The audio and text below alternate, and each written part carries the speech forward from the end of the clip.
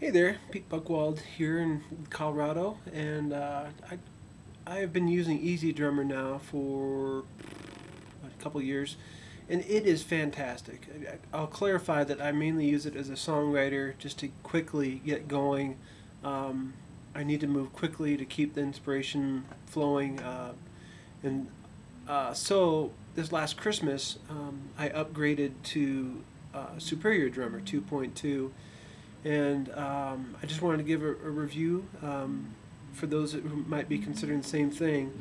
Around Christmas time, Toontrack tends to do re- really nice sales on, on a lot of their products, and so I took advantage of some of their sales on the expansion packs for Superior Drummer, and I, I paid for the upgrade to Superior in order to, to get those. So uh, for about I don't know 300 350 I was able to get Superior upgraded and uh, two expansion packs. So uh, felt like I got a lot of um, lot of stuff going on for me just with a little bit of investment.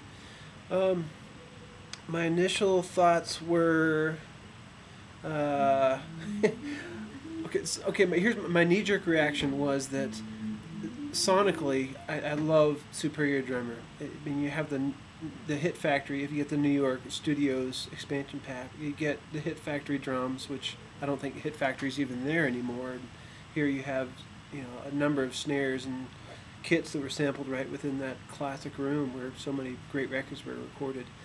Um, so that is a big plus for me.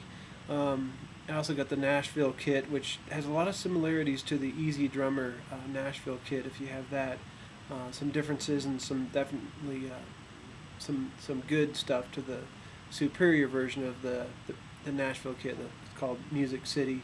Um, love it as well. Um, I, I, think if I had to say there's a weakness in this, it's in the, the MIDI and the, what they call the grooves in, in um, Superior Drummer.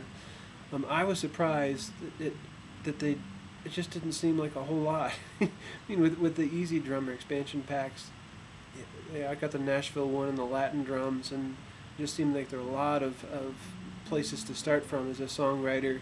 And I was Superior Drummer. Um, it was kind of tricky to figure out how to install them, where they were, where to download them on the website. They weren't included in this this box of uh, you know 20 DVDs or whatever it was they sent me from Sweetwater.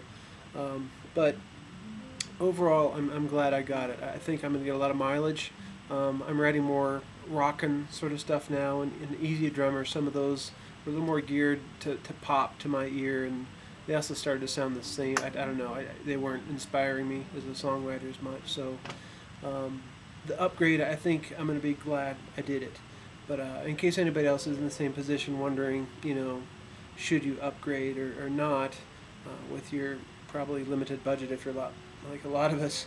Um, I, I guess I just want to make people aware of what I found to be true as I've ventured into the superior drummer world. Uh, so far, I'm happy, but like I said, I'm surprised by uh, the MIDI grooves. Um, yeah, and the installation was a little bit tricky as, as well. Um, if you have specific questions, um, I'm working within Logic software uh, and uh, what else on a Mac. So if you have installation questions, I had to wrestle through a couple myself, and I'd be glad to um, tell you how I solved the problems I had to solve. Um, so, hope this is helpful, and uh, look forward to seeing your comments. Thanks.